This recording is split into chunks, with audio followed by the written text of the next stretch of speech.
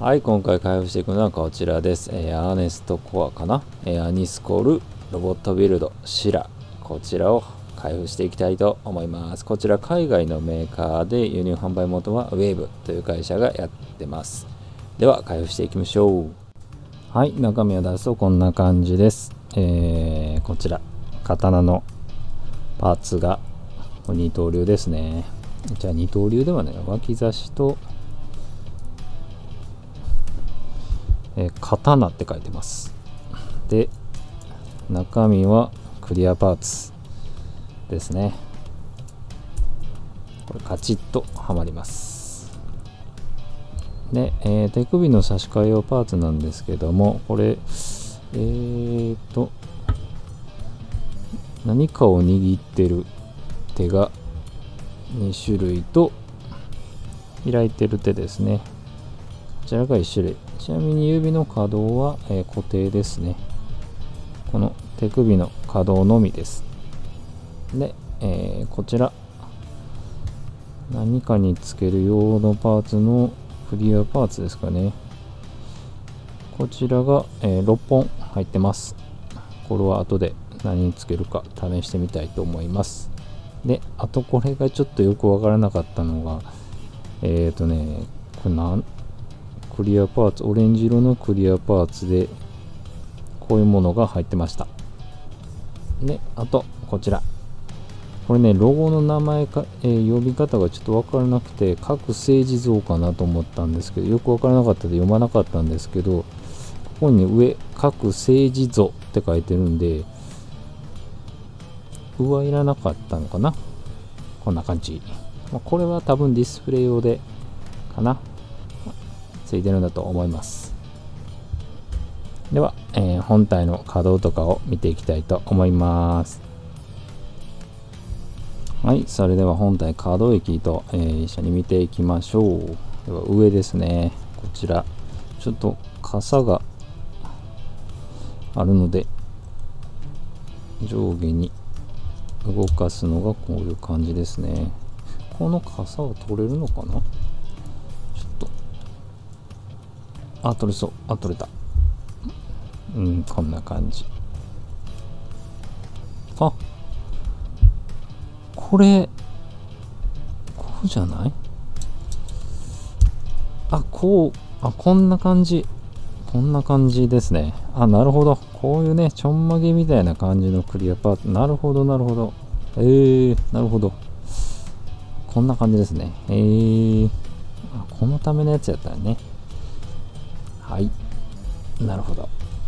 じゃあちょっと外して。首こんな感じですね。はい。360度はちょっとしんどいです。あいけるそう。あいけるな。ちょっと浮かして顎を浮かせればいけます。こちらもボールジョイントですね。上下がちょっと厳しい感じです。はい。では次。肩。肩はもうボールジョイントになってて、えーぐりぐり回せますね。でこちらの鎧のこのパーツも、えーボールジョイントで動かせます。いろんな角度でできますね。でこれちょっと外れそうなんで。あれこんなあ全部外れるな。こんな感じで外してなんかバージョン違いみたいなのもできそうですね。なるほどはい。で肘はここまで。こんな感じですね。で手首はぐるぐるボールジョイントになってます。はい。で、えー次は胴体。胴体がこれはどうなってんの？あなるほど。こうか。こうですね。360度難しいですけどこんな感じで。動きます。裏うん？あえ？あなるほど。ここも動く。ここ動く。ここ動くっていうかここ取れる？あね。えー、えー、なるほど。すごいなこれ。こんな感じで。へえこれえなんか変身するんかな？いやそんなん書いてなかったと思うねんけどな。ちょっと謎。謎。えー、なるほど。えー、回るんですねここね。面白いですね。変身すんのかな？ちょっとわかんないですけど。とりあえず足が前はここまで。後ろが、えー、ここまで。結構上がりますね。で膝。膝がこんな感じです。で膝自体もこう膝の先だけでこう回るちょっと動かせる感じですね。はい。で足首もボールジョイントになってるんで360度ウィングに動かせます。ちょっとね胴体に比べて足がちっちゃいので、まあ、バランス取るのがちょっと難しいかなと思います。はい。全部の可動域はこんな感じでした。はい。後ろと後ろはこんな感じですね。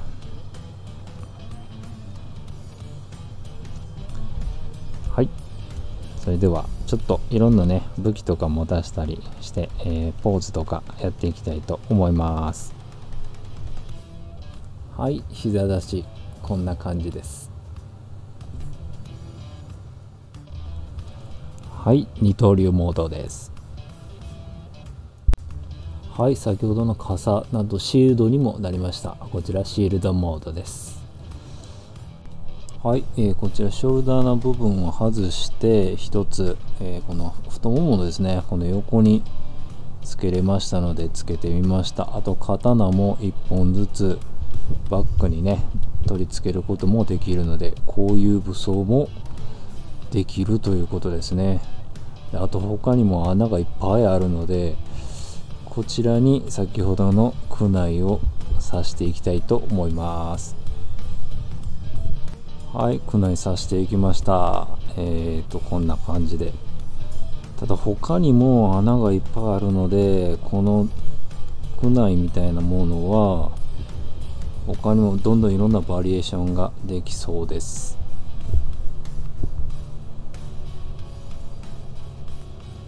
はいこんな感じのポーズもできます。このパーツの付け替えでねこの刀の鞘とこの肩アーマーを太ももの横につけることもできました。これちょっといいですよね。かっこいい。刀の鞘がちょっとパネルっぽくていいですねこれ。はい。えー、っとですね。いろいろ石食ってたらもう何が正解なのかもわからなくてこんな感じになりました。これが何なのかもちょっとわからないです。なんか触っててねルービックキューブを触ってるような感覚に陥ってしまいました。説明書がないので本当にどうしていいのかが分かりませんただ無限なんこのよくわからない穴とかにいろんなものを刺していくんだと思うんですが何か正解を知ってる方がいらっしゃいましたら教えてください。えー、はい、こんな感じです。はい、ロボットビルドシラでした。えっ、ー、とですね、予約の段階でですね、ちょっと気になってたんですけども、その時に買わずに、えー、店頭に並んでるのを見て買いました。えー、やっぱね、実物見るとかっこいいです。で、触ってみてもすごいいいなと思いました。